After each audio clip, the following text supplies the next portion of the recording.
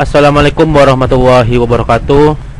Di kesempatan video ini Saya akan membagikan kepada teman-teman semua Salah satu trik bagaimana cara kita mengupdate Ataupun tidak bisa teman-teman mengupdate Windows teman-teman. Dikarenakan jika kita tidak update Jadi ini banyak aplikasi yang Contohnya game yang akan kita jalankan itu tidak bisa dijalankan. Contohnya seperti ini teman-teman. Nah ini. Dan ada beberapa lagi game yang tidak bisa dijalankan. Seperti ini. Oke di sini kita akan mencoba untuk update uh, window kita. Di sini jika kita klik control panel kita pilih yang ini dan selanjutnya kita pilih Windows Update. Nah akan tetapi di sini ini loadingnya sangat lama teman-teman. Biasanya tampilannya bukan seperti ini tidak lama seperti ini. Akan tetapi tampilannya seperti ini saya akan cantumkan gambarnya. Nah di sini kita close saja. Di sini tidak mau. Kita akan close paksa dengan kita close paksa sistem security. Nah ini entas. Ini satu lagi kita entas. Windows update. Mana ini kita close dengan paksa. Oke selanjutnya kita pergi lagi ke sini ke control panel. Dan di sini teman-teman klik saja troubleshooting troubleshooting nah ini teman-teman nah ini kita klik saja troubleshooting dan di bawah pada bawah kita ada sistem and security. Kita klik saja. Dan ini Windows update. Kita klik Windows update. Ini troubleshoot and help prevent computer problem. Windows update troubleshoot problem preventing Windows update from working correctly maaf teman-teman jika bahasa Inggris saya tidak pas mohon dimaklumi. Oke selanjutnya kita klik saja next. Kita akan tunggu proses ini selesai. Dan di sini pastikan untuk teman-teman semua ini kita aktifkan internetnya. Ini saya menggunakan wifi. Bisa teman-teman menggunakan wifi handphone ataupun IndiHome selanjutnya kita klik explore Nah, di sini kita klik saja cek online uh, for resolution the start program. Ini mouse-nya agak susah digerakin. Responnya lambat. Nah,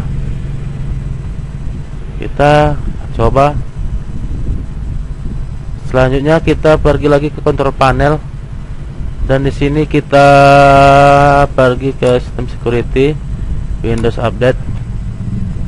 Nah ini teman-teman masih lama. Oke selanjutnya teman-teman buka saja CMD karena ini lama kita buka CMD kita klik run as run as administrator. Oke yes. Nah di sini teman-teman ikuti saja perintahnya sesuai dengan yang saya oh di sini. Yang saya ketikkan oh di sini kita close saja dulu teman-teman. Ngelet. Kita start. Nah di sini administrator Windows Update kita enter saja. Oke. Oke selanjutnya silakan teman-teman masukkan perintah ini. Net stop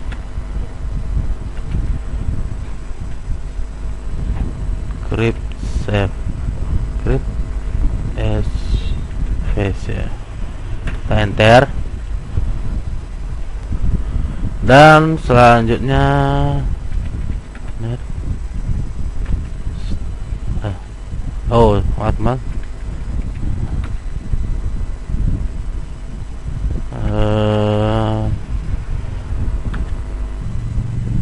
net stop w A U S E R ejaan nah selanjutnya dan kita lanjutkan net stop eh maaf net stop uh, stop api D S VC Oke selanjutnya net stop gripe. D S VC net stop NSI server. Nah selanjutnya net stop kalau nggak salah star star star bits oke berhasil. Maaf teman-teman di sini net stop. Startnya kita buang. Saya lupa. Oke. Oke di sini sudah kita masukkan perintah ini. Net start. Net star uh, grip grip the SVC Oke, di sini sudah the cryptographic service service was started successful. Selanjutnya kita ketik lagi net stop U W U A U S E R V. Nah ini more service not starter. Selanjutnya kita binet star W U W U A maaf teman-teman tadi itu net stop. Ini net start ya teman-teman. Yang tadi ini salah perintahnya teman-teman yang yang net stop ini. Maaf jika ini saya sudah lupa. Lupa dengan perintah ini. Oke di sini sudah berhasil. The background is service was started successful oke selanjutnya kita kita minimize saja yang ini teman-teman. Nah di sini kita pergi lagi ke control panel. Kita coba. Nah di sini kita disuruh untuk restart program. Oke ini kursornya uh, lambat. Restart program Nah, di sini sudah restart, kita coba buka lagi. Windows Update.